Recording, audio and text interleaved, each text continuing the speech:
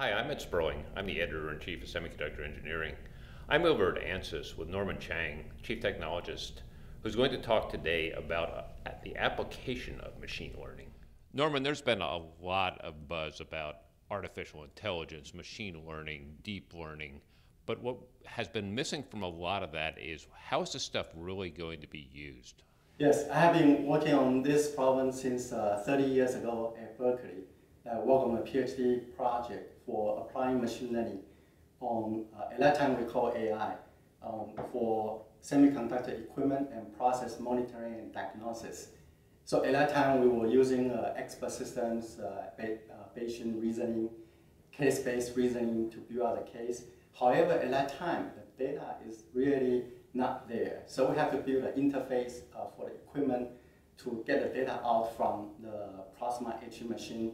And we really have to build the database uh, to document all the problems so we can build a case-based reasoning. So right now, today is uh, really a little bit different because uh, more and more data becomes uh, available. And with the maturity of machine learning and deep learning techniques, that is uh, a better chance at this time that we can look at this problem again and apply machine learning to improve manufacturing efficiency, to improve the e even the EDA tools, uh, which is a new area that all the EDA companies are looking into at this moment. Why don't you draw this out for us? Sure. So this is from ANSYS uh, point of view. Uh, where can we apply the machine learning and deep learning? That we have a group of people inside ANSYS. Uh, we are looking at all the possible applications in mechanical area, fluent area, also for semiconductor on chip packaging system area. And if you look at today's uh, hot design topics such as uh, 3D printing, and so we can apply generative design using uh, generative adversarial network technique, which is a very popular deep learning technique to generate a whole bunch of design options and then applying design critique to see which design is uh, best suitable for the design input. So that will be part of the simulation input construction. So is this for adding efficiency into the designs? Is it for improving the uh, reliability? Is it for cutting costs? This is uh, improving the efficiency and also innovation of the design. Because from the uh, computer of machines uh, point of view, that automatic generative design sometimes can surprise human being uh, we haven't seen a design uh, from this angle, but it satisfies all the objectives like roughness, the robustness, and also uh, the working level or the frequency level. So it's uh, really a new area that machine can help us uh, in assistance of the design. So what are the other areas that machine learning can be applied? Yeah, so let's look at one very popular area is input data reduction. Uh, for example, if you are performing the Monte Carlo simulations, uh, you have to run uh, traditional Monte Carlo simulation. However, at this point, for example, for variance generation uh, using the Monte Carlo, that will take too long.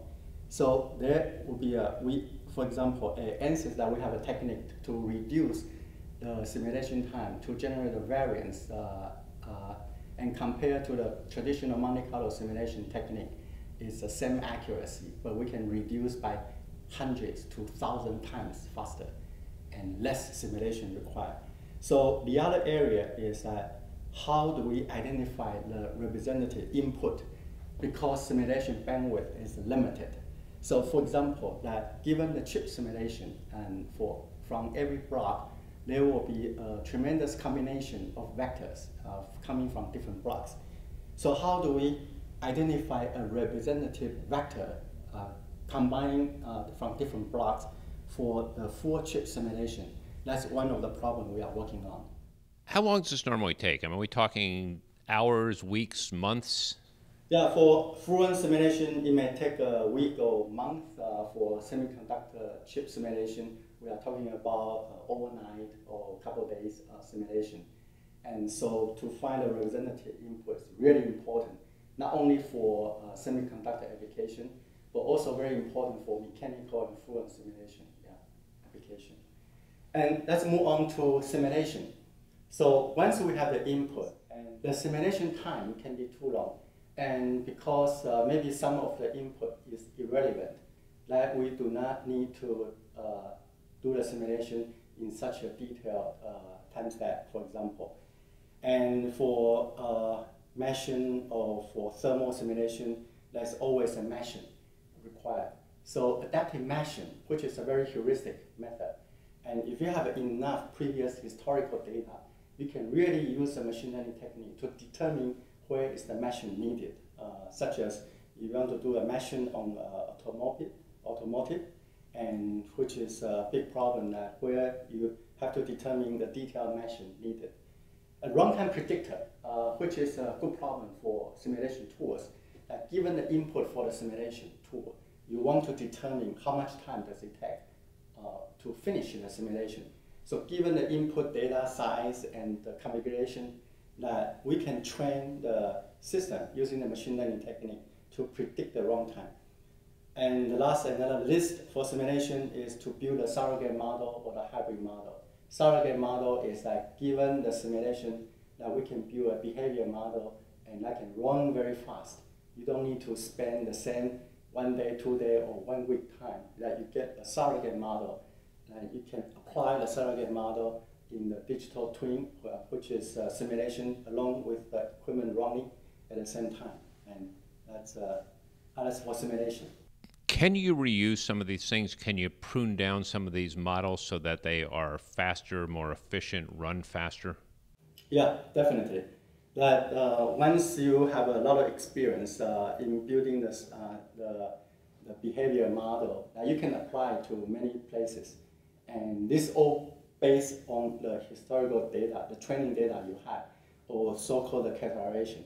And so this really plays uh, in a lot of roles uh, using the uh, surrogate model or behavior model in channel analysis or in, or in the measurement space using the deep uh, neural network for channel uh, surrogate model build up. So what happens after the simulation? What comes next? So after the simulation, uh, we got a lot of data. And if you look at individual customers, uh, they run the simulation using different tools. And with the different simulation data, like for example, for semiconductor manufacturing, like they can use the data for monitoring, diagnosis, for anomaly detection, or you can also guide it, the uh, simulation. What's the next simulation needed for optimization? Like, for example, you can use a Bayesian optimization technique to tell you what's the needed simulation as the next step to cover the shortage uh, from the simulation data you got so far. And the second reason is that we want to open the domains, uh, do the correlation across different domains like uh, dynamic voltage drop, uh, do the correlation with the timing data. And timing data certainly is using different companies' tool that we, uh, we can enable customers to correlate between the dynamic voltage drop and timing data used coming from different tools and for optimal design decisions. That's another project we are working on. So uh, finally, that so we bring back to the optimization loop, uh, doing the, what's the next simulation needed. But the most important uh, from our experience working with uh, NVIDIA and a couple customers uh, for the last year or two is that you really need to work with your customers and ask them uh, what kind of heuristics they are performing now in their design flow and what kind of wish list they have then you can possibly come out with machine learning techniques to apply in those heuristic, heuristics and to solve the particular problems they have. Most engineers, when they look at this, tend to think in terms of very fixed numbers. What you're talking about here is a very tight distribution of behavior. What's the mindset that has to come across, and, and how do you work with this, uh, these ideas to say this is the correct way, this is the close enough or this is the, the optimum way that you're going to do this? Because really what you're talking about here is optimization. Yes. And that's a very good question because traditionally we are uh, designing algorithms or analytical techniques like uh, in the IR drop or the present route, it's all uh, algorithms and nothing uh, is quite deterministic. But here, when we apply the machine learning or deep learning techniques, that we are using uh, some of the heuristics uh, in the machine learning, deep learning techniques. And if you come out the results, you don't like, uh, it doesn't make sense, it's not easy to debug a deep learning model, for example. And this is not a particular problem for semiconductor or for EDA industry. It's a common problem for all the industries. Now, when they apply a deep learning uh, technique and to build a model like autonomous driving, and when there's a problem, and it's not easy to debug the model. However, for our EDA space, uh, we are lucky that most of the time we are not running mission critical applications. So when we encounter a problem that the deep learning model doesn't generate the result we wanted, that we can look at the data, we can generate more data, and most of the time maybe the data has an issue, so we need to clean up the data. And then we can look at the model parameters, the hyperparameters models, and see if we can get a clue that will cause the problem. So where do engineers go wrong? What surprises them? Yeah, so when we deploy a machine learning system at customer site, and if the result is not ex expected, uh, they cannot simply send a test case and then we run through the uh, analysis.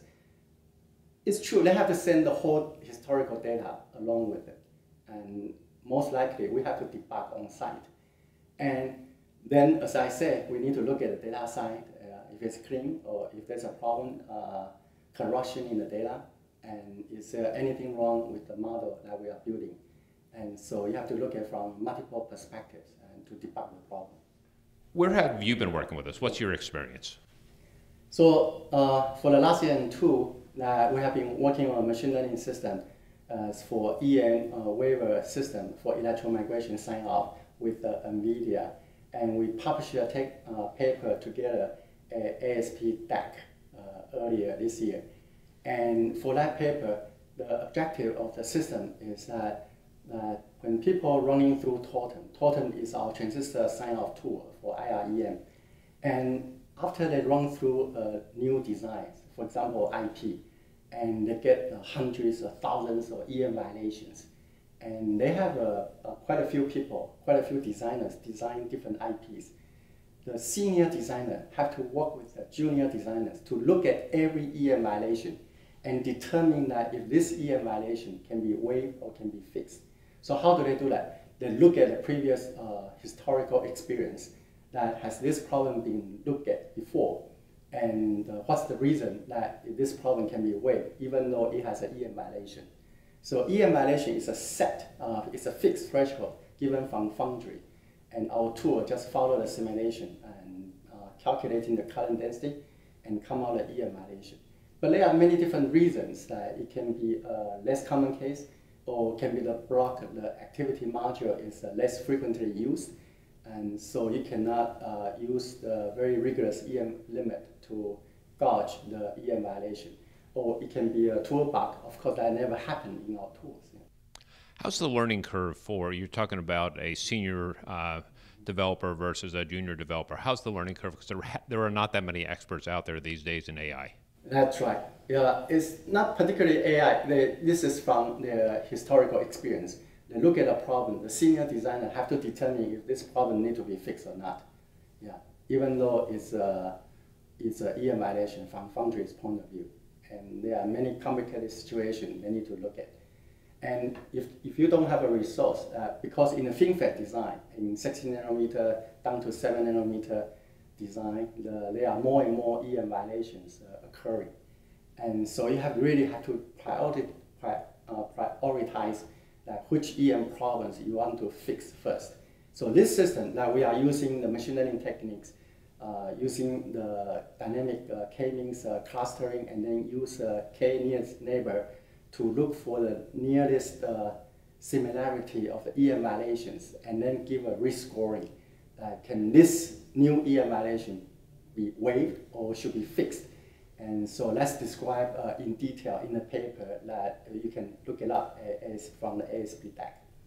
Assuming this goes as planned, what does chip design look like at five nanometers and three nanometers? Does it change mm-hmm. because of this technology? Uh, yes, uh, when this uh, technology is, uh, is deployed in place at customer site, and it's just like a senior designer always working with you and looking at your IP blocks EM violation. It will give you a suggestion, or he or she, uh, as a senior designer knowledge, uh, embedded, embodied in the EM waiver system will tell you that if this EM violation can be waived according to the historical database or should be fixed and it has a very high risk. So it provides a uniform consensus uh, from the knowledge of the senior designers that uh, to help the junior designers to look at this problem carefully. And, and we know that uh, it only takes one EM violation to kill the chip. Norman Chang, thanks for some great insights into a very interesting area of development. Thank you.